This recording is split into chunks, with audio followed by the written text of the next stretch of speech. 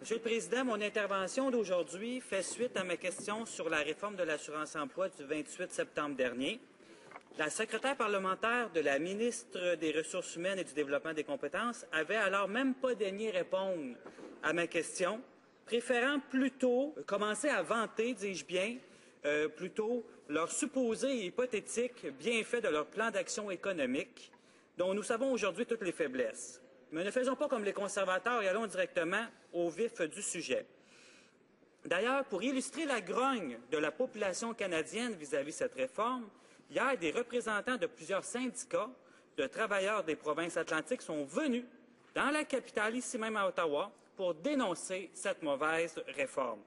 Parce qu'ils prétendent que la réforme de l'assurance-emploi va contraindre les chômeurs de la difficulté à manger durant l'hiver. Ils ont euh, fabriqué des cannes de bine, ben oui, Monsieur le Président, des cannes de bine arborant le visage de la ministre des Ressources humaines. Et ça, Monsieur le Président, ce n'est que la pointe de l'iceberg. Cette réforme va obliger les citoyens de ma circonscription de Drummond, imaginez-vous, Monsieur le Président, à faire jusqu'à 100 km de route, OK, pendant les conditions difficiles de l'hiver, par exemple, qui s'en viennent. Tout ça pour, accepter des travaux, des métiers à 70% de leur salaire actuel. Donc, ce qui équivaut à 30% de perte de salaire, imaginez-vous, Monsieur le Président. Les gens de Drummond sont très fâchés, sont offusqués. Ils ont répondu par dizaines et dizaines, par centaines, euh, des, citoyens, des citoyennes de la région de Drummond m'ont envoyé des lettres euh, pour me dire, François, c'est épouvantable, ces changements d'assurance-emploi. Nous n'acceptons pas ça, nous n'appuyons pas ça. Il faut que les conservateurs retournent à la table de dessin et qu'ils recommencent, qu'ils refassent leur devoir. C'est vraiment une réforme bâclée et les gens sont vraiment fâchés. Euh, d'ailleurs, il y a d'autres mesures euh, qui, ont aussi été dénoncées par le regroupement de défense des droits sociaux de Drummond, le RDDS, qui est représenté par Maître Lamontagne.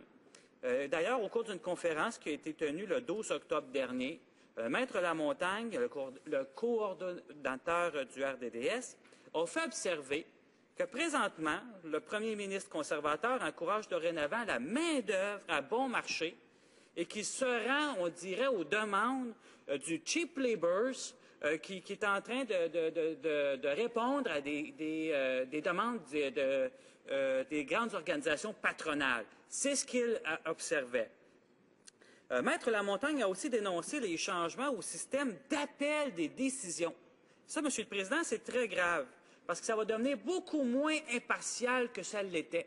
D'ailleurs, M. Maître Lamontagne y siégeait euh, sur euh, les tribunaux de décision et les tribunaux d'appel de décision auparavant, c'était excellent la manière que ça fonctionnait. Ça permettait à des mauvaises décisions, de pouvoir euh, que les gens qui faisaient face à des mauvaises décisions pouvoir faire un appel et euh, ça fonctionnait très bien. Malheureusement, le gouvernement conservateur a changé ça.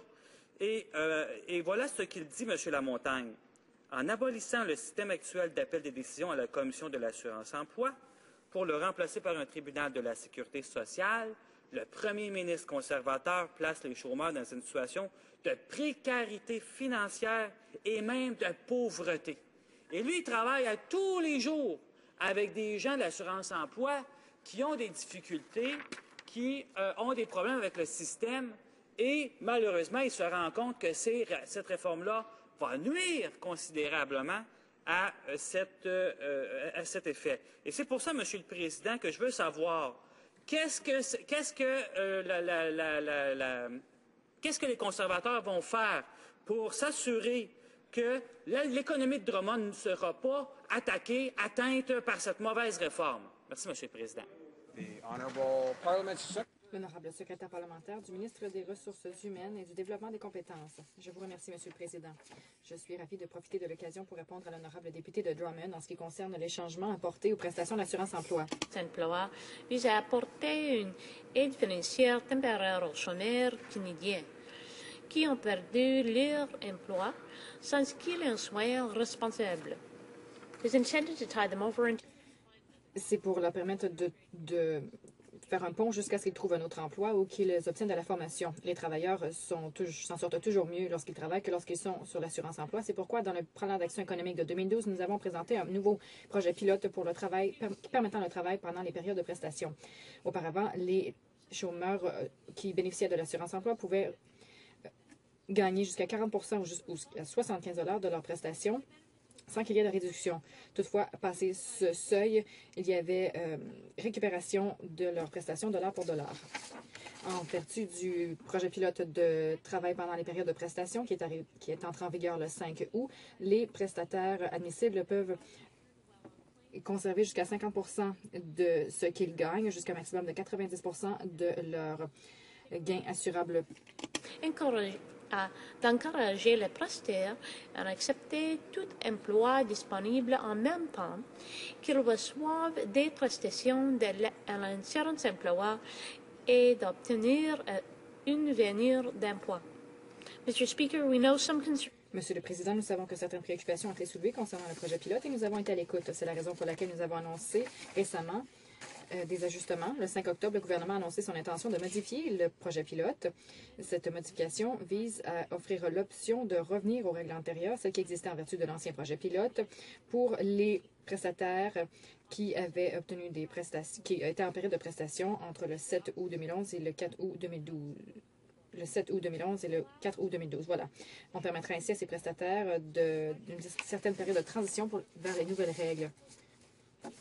En apportant ces changements, nous voulons établir un équilibre entre euh, l'appui à donner aux gens et la possibilité pour eux de réintégrer le marché du travail rapidement. Notre priorité absolue, c'est de créer des emplois, d'appuyer la croissance économique et de garantir la prospérité à long terme pour tous les Canadiens. Évidemment, s'il n'y a pas d'emploi, l'assurance-emploi continuera d'être là pour les Canadiens lorsqu'ils en ont besoin.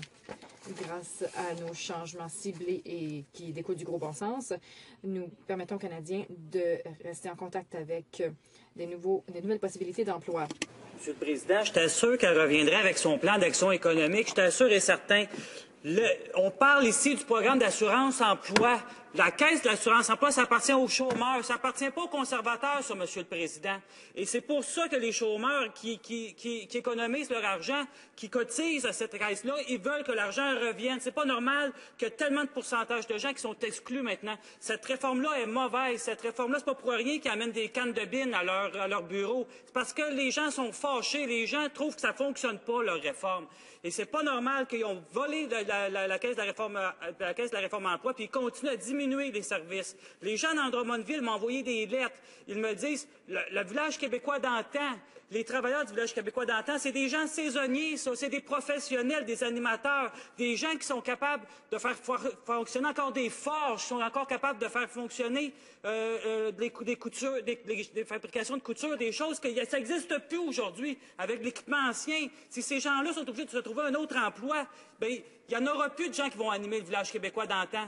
C'est pour ça qu'il faut continuer à avoir nos, travailleurs saisonniers pour les soutenir. C'est parce que ces gens-là ont des compétences. Ces gens-là ont travaillé fort. Ils ne veulent pas s'en aller travailler ailleurs. Qu'est-ce que la, secrétaire parlementaire va faire pour s'assurer que dans Drummond, l'économie soit, soit pas, ça, ne nuira pas, que les gens du village québécois d'antan vont pouvoir continuer à y travailler et qu'ils ne sont pas obligés d'aller travailler à 100 km à 60 L'honorable euh, secrétaire parlementaire euh, de le ministre des de Ressources humaines et Développement des compétences. Merci, Monsieur le Président. J'aimerais rappeler à l'honorable député que c'est notre gouvernement qui a créé près de 900 000 emplois depuis la fin de la récession économique. En fait, 90% de ces emplois sont les emplois à temps plein et notre taux de chômage est à son plus bas depuis le début de la récession. C'est parce que nous avons un plan d'action économique efficace qui comprend de nombreuses initiatives qui fournissent de nouveaux débouchés aux Canadiens. Monsieur le Président, comme je l'ai déjà dit précédemment, la priorité absolue de notre priorité absolue, c'est la création d'emplois et la croissance économique. Nos améliorations au programme d'assurance emploi visent à aider les travailleurs à retourner au travail. Et comme on l'a dit plus tôt, s'il n'y a pas de travail, l'assurance emploi sera là, comme ça a toujours été le cas pour les Canadiens. Je veux que J'aimerais savoir pourquoi les néo-démocrates et les libéraux continuent de voter contre ces initiatives qui créent des emplois pour les Canadiens.